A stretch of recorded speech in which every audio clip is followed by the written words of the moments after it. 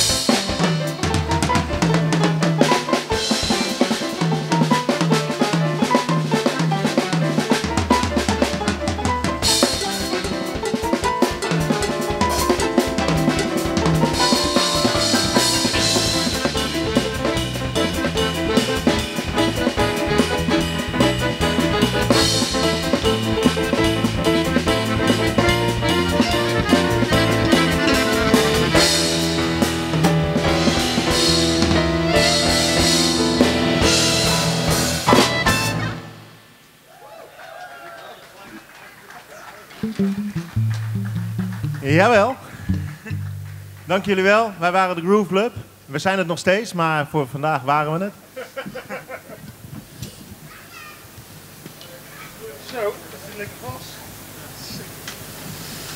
Ja, ze, waren de Groove, ze zijn de Groove Club. Het is fantastisch. De Groove Club, dames en heren. Geef ze nog een applaus.